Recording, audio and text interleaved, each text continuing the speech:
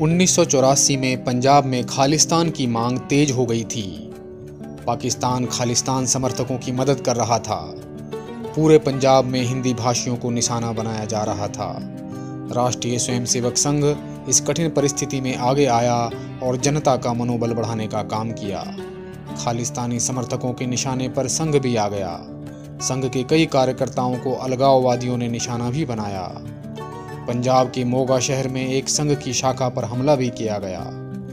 पंजाब में भिंडरावाले के नेतृत्व में अलगाववादी ताकतें सशक्त हो रही थीं, जिन्हें पाकिस्तान से समर्थन मिल रहा था। स्वर्ण मंदिर पर भिंडरावाले ने पूरा कब्जा कर लिया था। भिंडरावाले के समर्थक हथियारों से लैस थे।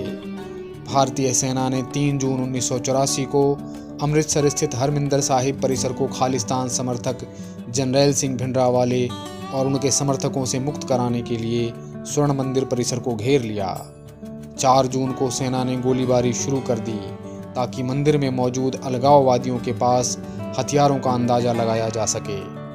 अलगाववादियों ने सेना की फायरिंग का करारा जवाब दिया। पाँच जून को आखिरकार सेना ने बख्तरबंद गाड़ियों और टैंकों का इस्तेमाल करने का निर्णय किया।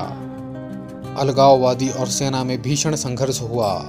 आखिरकार 6 जून को स्वर्ण मंदिर भिंडरावाले से मुक्त करा लिया गया। सेना ने इस अभियान को ब्लू स्टार नाम दिया था।